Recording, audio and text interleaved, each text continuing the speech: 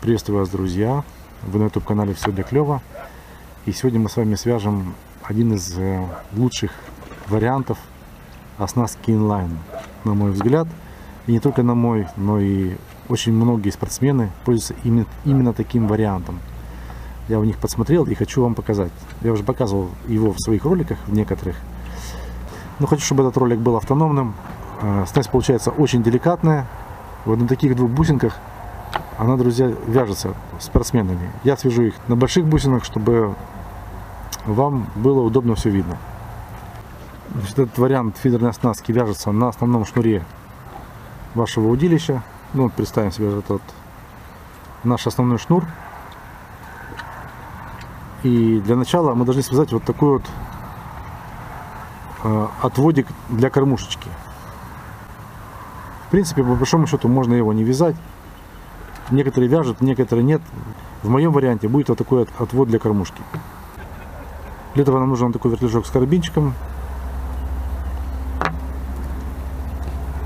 Как мы его будем вязать? Итак, значит, э, сначала мы привязываем бусинку. Привязываем ее любым удобным для вас узлом.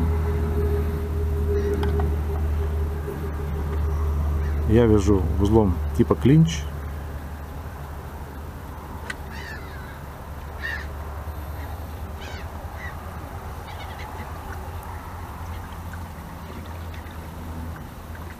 Подливаем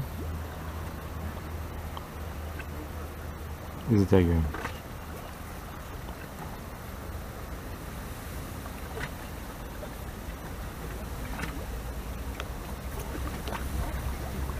Затянули. Лишнее обрезали.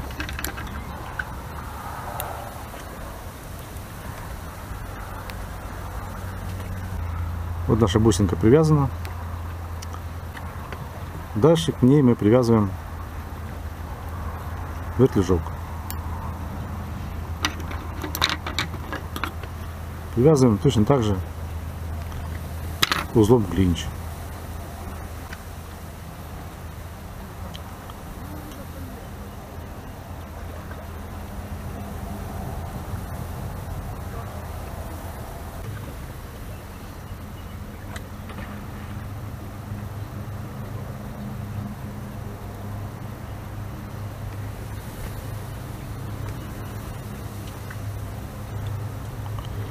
Есть. Привязали. Лишнее отрезаем. Есть. Все, это у нас получается отводик для кормушки. Можем его сразу одеть. Кормушку сюда. И отложить в сторону. Да, обращаю внимание, друзья, на то, чтобы вертлюжок был с карабином такой, чтобы карабин застегивался внутрь. Вы поняли? Не наружу, вот этот хвостик был карабинчика, а, на, а внутрь. В таком варианте он не зацепляется за поводок оснастки во время заброса. Есть. Теперь на основной шнур мы э, продеваем скользящую тут нашу кормушку с отводиком.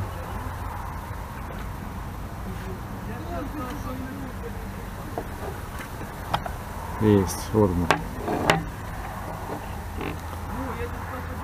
Теперь берем вторую бусинку и продеваем ее два раза вот таким вариантом, смотрите.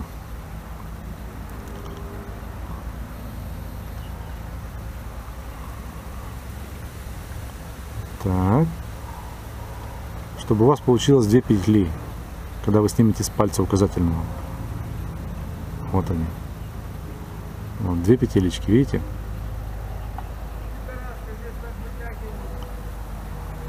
Теперь необходимо вот этот хвостик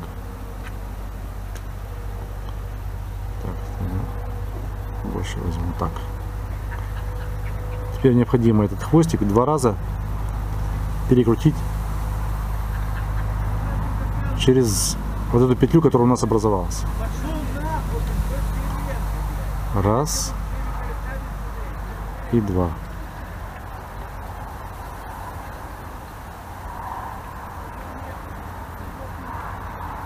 Все. И теперь вот это вот аккуратненько зажимается. Все. Когда она зажалась, вот эта бусина уже никуда не уйдет. Ни вперед, ни назад, никуда.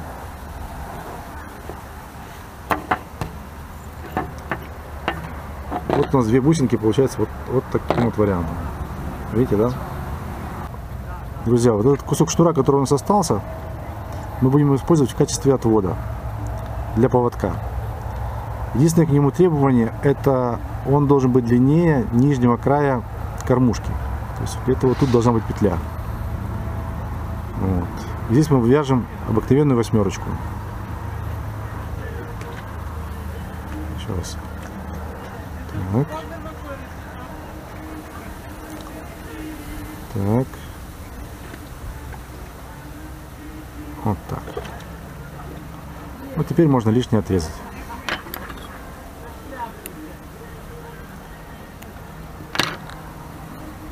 Открыли мы нашу петелечку и методом петля в петлю продеваем наш поводок.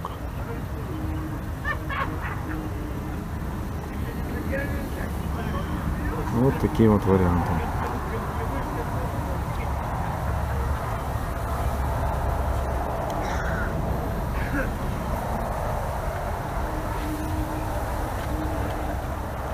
Поправляем. Все. Вот вариант петля в петлю. Друзья, наш фидерный монтаж готов. У нас получается на основном шнуре отвод для кормушки на бусинке, потом бусинка, которую мы застопорили, отводик из шнура и поводочек. Все, друзья, вот этот вариант самый лучший. Молдавский спортсмен Лаур Дмитрий, который участвовал в соревнованиях в чемпионате Одесской области по фидерной ловли, занял призовое место благодаря вот такому монтажу.